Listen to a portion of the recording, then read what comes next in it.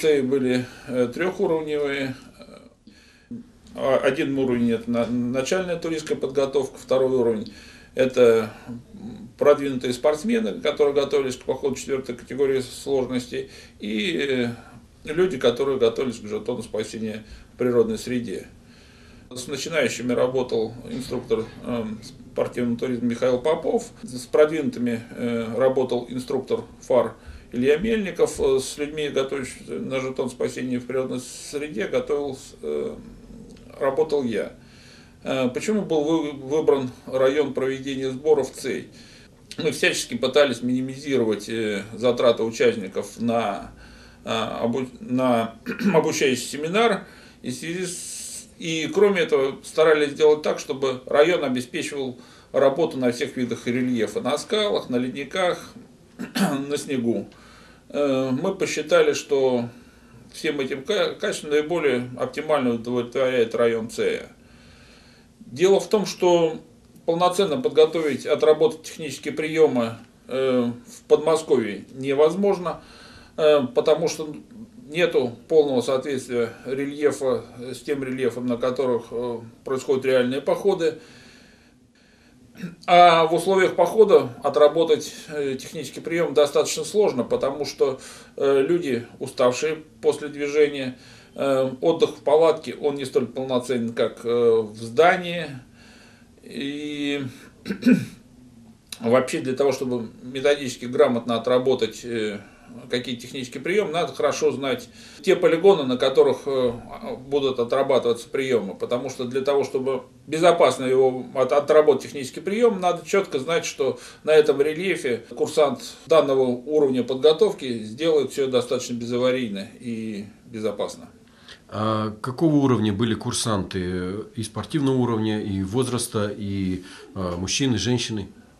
Э, количество мужчин и женщин было приблизительно равное. В новичковой группе было чуть больше женщин, в спортивных э, и группах э, спасения чуть больше мужчин. Возраст начиная от 23 лет и до 30. Какие учебные блоки были в этих семинарах и сборах? А что они включали? Начальный уровень включал работу на рельефе, на снежном, на простых скалах, на простом льду и были отработаны определенные элементы а, лавинной подготовки. Работа продвинутых спортсменов а, на сложном скальном рельефе, на сложном ледовом рельефе, крутизна склонов и на льду, и э, на скалах от 60 до 90 градусов. Если просто спортсмена больше уделяли внимание технике преодоления, локальных препятствий, то э, группа, специализирующаяся на жетон спасения в природной среде, отрабатывала в основном приемы э, спуск, подъем пострадавшего, э, перемещение пострадавшего по технически сложному рельефу. Ну и была повторена лавинная подготовка. А курсы первой медицинской помощи, они уже э, были пройдены всеми курсантами или здесь то же самое уже в условиях природной среды проходились и курсы первой медицинской помощи? К сожалению, те сроки, э, на которых э, мы можем выехать в горы, они достаточно ограничены и не могут охватить весь спектр подготовки, поэтому медицинские курсы мы проводили в Москве. Правильно я понимаю, что если человек хочет ходить э, четверку э, маршруты четвертой категории трудности в горах, то он обязательно должен пройти подобные учебно-тренировочные сборы. Я считаю, что так. Технические приемы полноценно можно отработать только в условиях сборов. Э, мы всячески стараемся сделать, чтобы эти сборы максимально совместить с выходными днями и праздниками, для того, чтобы у людей осталась возможность сходить в спортивный поход. Э, но при этом, э, если человек э, совершенствует свое спортивное мастерство только в условиях горного похода, у него мало возможностей отработать все варианты исполнения технического приема. И я считаю, полноценной технической подготовки только в походе добиться крайне тяжело. Что это за жетон э, спасения в природной среде, который учредила Федерация спортивного туризма России? А его требования, характеристики, особенности и возможности для тех, кто его получит? Люди, оказывающие э, помощь попавшим в аварию в условиях э, природной среды, тоже находятся в повышенной опасности. Потому что преодоле... помимо преодоления локальных препятствий, им еще надо помогать по э, этим локальным препятствиям передвигаться людям, э, которые имеют какие-то либо травмы, либо физические, либо психологические. Э, поэтому готовность людей, которые оказывают помощь людям на технических препятствиях, должна быть несколько выше обычных спортсменов. Жетон учрежден Федерацией для того, чтобы стимулировать подготовку спортсменов к таким более сложным условиям. Жетон присваивается людям, прошедшим маршруты четвертой категории сложности. Желательно, чтобы они имели аттестацию э, статус спасателя. И кроме этого прошли как минимум три специализированных блока по подготовке к работе на различных рельефах. На сегодняшний день мы решили, что для пешеходного и горного туризма э, человек должен отработать высотно-технический блок, ну, такой ну, приблизительно, как мы отработали в ЦЕИ. Не обязательно это должен быть ЦЕИ, это может быть какой-либо другой горный район. Э, но э, люди должны там отработать передвижение на всех формах горного рельефа и на высоте, потому что э, в горах, помимо сложности локальных препятствий, еще присутствует холодная погода, разряженный воздух, и так далее. То есть должен быть отработан высотно-технический блок. Мы считаем, что люди должны пройти блок первой помощи, претендующие на жетон спасения должны пройти э, блок скальной технической подготовки, который мы обычно проводим в Крыму, и блок выживания в горно-таежной местности, который мы проводим в Удмуртии на реке Кама. Известно, что подобный же жетон за спасение в горах существует в Федерации альпинизма России. Какие отличия между этими жетонами спасения в природной среде и в горах? Взаимозаменяемые они, взаимопроникновенные? А, а, вот об этом очень важно знать, наверное, тем, кто обладает или тем, или тем, а, чтобы сэкономить время на получение другого жетона, или вообще достаточно иметь один, чтобы уже быть полноценным спасателем? Жетон ФАР «Спасение в горах», он подразумевает работу только в условиях гор. Благодаря этому жетону технический уровень людей, оказывающих спасательные работы в горах, явно возрос. Э, это послужило и нам, э, Федерации спортивного туризма, как пример для того, чтобы вести подобный э, жетон у нас. Но условия работы Федерации альпинизма и Федерации спортивного туризма, они несколько различны. Если фар работает только в горах, то мы работаем практически на всех формах рельефа, в горах, на воде, в тайге, э, в Арктике, на лыжах, другими э, способами передвижения. Да, наверное, специализация горный туризм и альпинизм, они достаточно близки, и технические приемы, наверное, достаточно близки.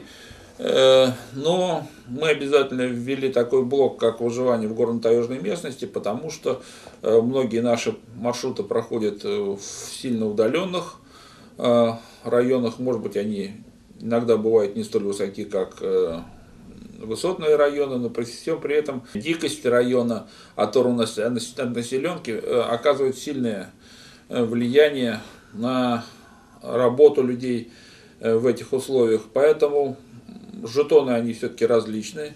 Э, не все блоки, которые э, включают жетон э, спасения в природной среде, включается в жетон спасения в горах. Мы признаем, что жетон спасения в горах сделал много для того, чтобы повысить технический уровень спортсменов-альпинистов, и мы надеемся, что жетон спасения в природной среде э, также поднимет техническую подготовку э, спортивных туристов. Обладатели жетонов признаются Росспасом, МЧС России в качестве полноценных помощников при спасательных аварийных ситуациях, эвакуационных работах – какие-то преимущества, может быть, льготы, может быть, какие-то возможности новые открываются ли перед обладателями жетонов э, вот в этом направлении? Вообще спасательная служба, она всегда, на самом деле, началась с спасательных отрядов, туристских и альпинистских. Э, но формально в 151 законе, федеральном законе, оговорено э, четко, что спас работами могут заниматься люди только со статусом э, спасателя. Формально МЧС, конечно, понимает, что люди, прошедшие подготовку на эти жетоны, обладают хорошим, хорошей технической подготовкой, но с юридической точки зрения это не очень важно, потому что для участия в спасательной работе нужен статус чтобы человек э, защитил, аттестовался на статус спасателя. Мы всячески стараемся, э, чтобы обладатели жетонов э, обладали бы также и статусом спасателя, но технически это сделать достаточно тяжело. Подготовка на статус спасателя достаточно дорогостоящая и очень протяженная по времени. Поэтому, к сожалению, не все обладатели жетона спасения в горах – Э, и жетон спасения в природной среде а, обладают статусом э, спасателя. Развитие в этом направлении. Когда будут следующие э, сборы? Или летние, зимние? Как они отличаются друг от друга? То есть начался Новый год – и, соответственно, вы можете уже сейчас рассказать, э, что предстоит тем, кто хочет стать обладателем жетона за спасение в природной среде, какие этапы в течение года он должен пройти, э, что ему предстоит. 22 февраля начнутся сборы, которые будут проведены в Удмуртии на реке Кама. Цель сборов э, – научить людей выживать в горно-таежной местности и при этом оказывать, работать на препятствии с пострадавшим, оказывать помощь пострадавшему. Основная идея этих сборов все-таки научить людей работать в автономке и оказывать помощь пострадавшему э, силами малой группы. И в мае месяце будут проведены скально-технический блок э, на жетон спасения в природной среде, который пройдет в Крыму. Наверное, немаловажное, сколько стоит участие э, в таких сборах на всех этапах для получения жетона за спасение в природной среде? Мы не можем сейчас назвать фиксированную сумму. Э, значит, э, мы всячески минимизируем затраты участников. Так, например, сборов ЦЕИ у нас обошлись для участников Э, порядка 12 тысяч, это с учетом дороги, э, проживания и питания. Э, организационный сбор для проведения сборов в Удмуртии, он всего 3000 рублей, который тоже будет включать в себя проживание, питание. Но а на стоимость всего мероприятия очень сильно сказывается еще и дорога. Понятно, значит, людей, приехавших на сборы из Татарстана и Удмуртии, она будет заметно меньше, чем у людей, приехавших на сборы из Москвы или Ленинграда.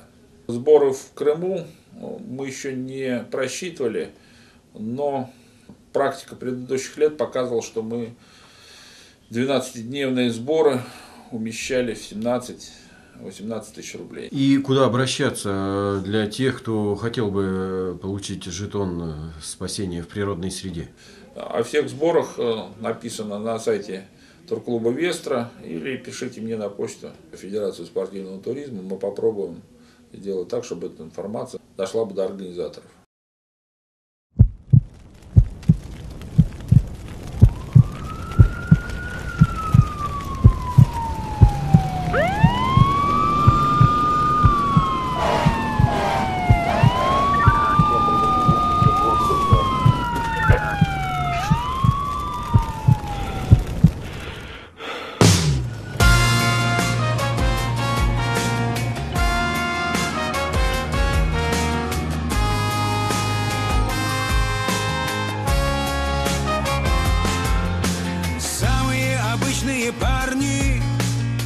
Плащей без спецэффектов Я горжусь, что хожу с вами по одной земле.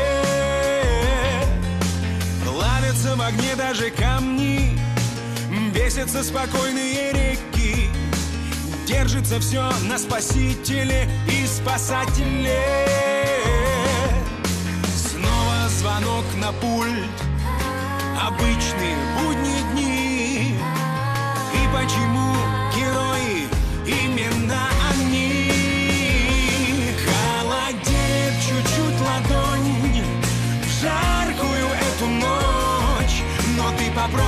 шагни в огонь. Если дома жена и дочь По плечу постучит ладонь. Слава Богу, ты не один Но ты попробуй шагни в огонь. Если дома жена и сын Опыт приходит с годами. Но только к тем, кто выжил Кого не обошла удача стороной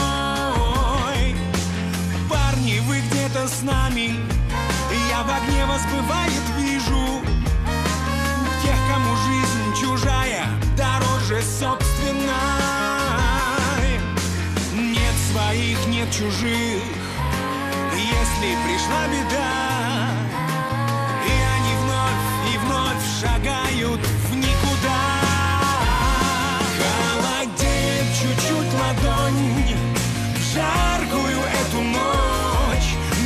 попробуй шагни в огонь.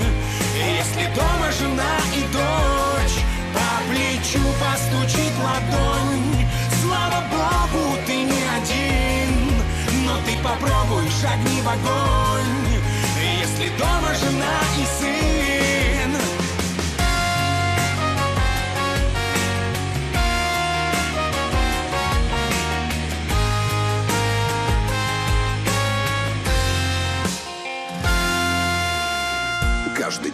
где-то рядом с тобою В воду, огонь или тьму. На службу уходят герои. Неизвестные никому. Чтобы не быть один на один с бедою. Вот ответ на вопрос почему. На службу уходят герои. Неизвестные никому Тяжело дышать, еще один шаг Череп все время сползает. Господи, только бы не горняк. Хорошо, что мама не знает. Я смогу, я пробьюсь. Спасатели — это сила. Мама, я скоро вернусь. Ну, давай, тушила. Ну же, давай, тушила. Холодеет чуть-чуть ладонь жаркую эту ночь. Но ты попробуй шагни в огонь